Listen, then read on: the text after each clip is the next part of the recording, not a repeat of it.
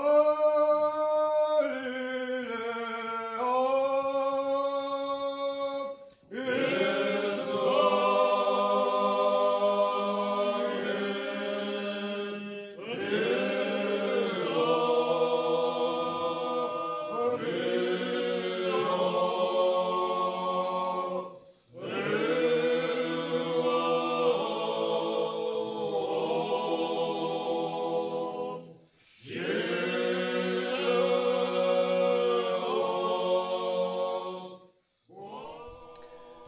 Swanetia, Mestia, najwyższa partia Kaukazu.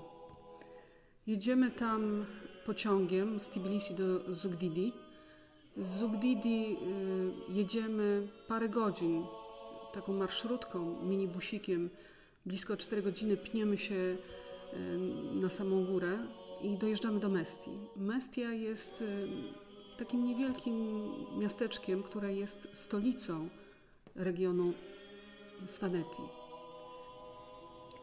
Wyjątkowa muzyka, przede wszystkim wyjątkowa tradycja muzyczna, o której słyszeliśmy jeszcze wcześniej w Tbilisi i o której mówi się sfanurizari, czyli swańskie dzwony, akcentując, podkreślając wyjątkowość głosu, surowość głosu tych drwali, no właśnie górali, którzy od ponad 2000 lat zachowali formy polifoniczne, które w różnych e, analizach etnomuzykologicznych uchodzą za najstarsze na świecie. To, co nas uderza na początku, to wieże. Wieże z kamienia. Wieże prawie tysiącletnie. Domy, w których, czy ślady po domach, po domostwach, w których Swanowie mieszkają. Szczególnie w górnej Swanetii, w Mestii jest ich mnóstwo. Cała Swanetia usiana jest właśnie wieżami z kamienia, które pozwalały przetrwać surową zimę, nastawione bokiem do wzgórza, do, do zbocza, z którego mogła zejść lawina, wielopiętrowe, pięcio nawet piętrowe w środku, gdzie dopiero właśnie na trzecim, czwartym i piątym piętrze mieszkali Swanowie zimą. Kamień, góry i pieśni. W tym oczywiście zar, ale nim spotkamy się z zarem i nim poprosimy o jego naukę, minie kilka lat minie kilka wypraw. Najpierw trafiamy do domu ojca Jerzego, czyli mama Georgii jest tym, który przyjmuje nas i u którego mieszkamy.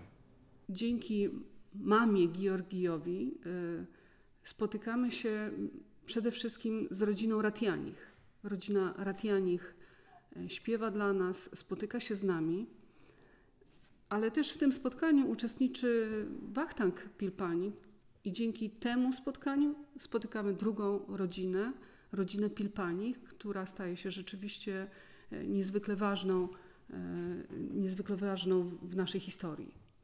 E, Eptime Pilpani, na którego mówiono Islam Pilpani, Islam, tak jak Lia Salakaja, staje się naszym nauczycielem, prowadzi nas po meandrach bardzo trudnej muzyki swańskiej, z, z wieloma współbrzmieniami, które są bardzo trudne dla naszego ucha. Ale Eptime Pilpani był kształcony w konserwatorium, więc ma pewne przygotowanie muzyczne i dzięki temu może nas poprowadzić mm, za rękę, dosłownie za rękę y, przez meandry tej muzyki. Ma przygotowanie muzyczne i ma pewien zmysł dydaktyczny, nawet jeśli jest bardzo surowym nauczycielem, y, ale jest nauczycielem prawdziwym. Mm, posługujemy się rosyjskim, tak jak potrafimy wciąż komunikować się nim, nawet do dziś. E, zauważamy, że oczywiście rosyjski, tak jak wtedy, przede wszystkim rosyjska telewizja jest wszechobecny, także przede wszystkim na rynku, tam gdzie się liczy, tam gdzie się handluje, ale poznajemy i gruziński, i swański. I jeszcze jeden język, język muzyczny, język zupełnie innej skali, skali która zmienia naszą mentalność, naszą filozofię w ogóle słyszenia. Pierwsze dwa głosy, najwyższy i, i drugi głos wiodący w muzyce swańskiej, są bardzo, bardzo blisko siebie. Ich odległość, ich interwał jest mniejszy niż sekunda. Trzeci głos pozostaje w kwincie. To zresztą jest wyjątkowe e, e, zjawisko, wszechobecne niemalże w wielu kulturach, stabilność kwinty oczywiście. I te dwa głosy, wykonywane przez pojedynczych śpiewaków, tworzą y, niemalże wszystkie pieśni z tradycji swańskiej. Trzeci głos, śpiewany może być przez niezliczoną liczbę y, śpiewaków, y, członków rodu, zaproszonych gości. Ale dwa pierwsze wykonywane są solowo. Zar to pieśń pogrzebowa, to lamentacja pogrzebowa. Jest y, sześć wariantów zaru, tak jak sześć różnych lokalnych y, wykonań. I jedna wyjątkowa wersja, kwiria, zachowana wyłącznie przez rodzinę Pilpanich. Kwiria to pieśń kołysanka, tak o niej mówią. To pieśń śpiewana tylko na pogrzebach dla osób, które skończyły 90 lat. Kwiria znaczy 90. Ale jest jeszcze jeden bardzo ważny warunek, coraz rzadziej spełniany, więc dlatego rodzina Pilpanik coraz rzadziej zapraszana jest właśnie, żeby śpiewać kwirię. Warunek taki, że osoba, która odeszła, musiała pozostawić przy życiu wszystkich swoich najbliższych, dzieci, wnuk. Jednym słowem, nikt z jej potomków nie mógł umrzeć przed, przed nią i łańcuch życia musiał być zachowany.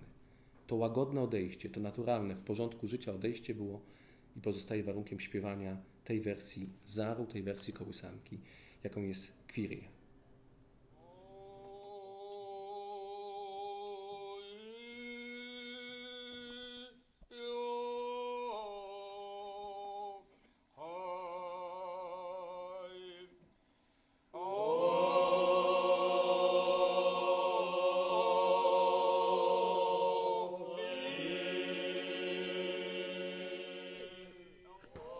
2000 roku, kiedy dotarliśmy do Swanetti, uczestniczyliśmy w pogrzebie.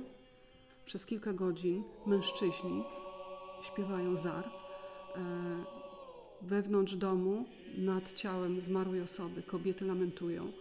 Przychodzą inne kobiety ze wsi, które dołączają się do głosów, odchodzą, przychodzą kolejne i, w ten sposób współuczestniczą y, we wspólnym przeżywaniu żałoby, co też jest y, co, co jest absolutnie niezwykłe. Te głosy lamentujących kobiet mieszają się e, z pieśnią zaru śpiewaną przez mężczyzn przed budynkiem. Później po, po wielu godzinach takiego śpiewania ciało zmarłej osoby w otwartej trumnie jest niesiona na ramionach e, na cmentarz. E, cały czas e, temu, temu obrządkowi towarzyszy pieśń Zar. To było bardzo silne i bardzo ważne dla nas doświadczenie, które zapadło w naszą pamięć i w naszą pracę artystyczną bardzo mocno. To doświadczenie sprawiło też, że zdarzało nam się jako zespół, jako Teatr Zar, śpiewać na pogrzebach w Polsce osób, które były z nami zaprzyjaźnione. I mieliśmy to doświadczenie śpiewacze również w czasie e, pogrzebów w Polsce osób, które, które odeszły z naszej najbliższej rodziny albo naszych przyjaciół.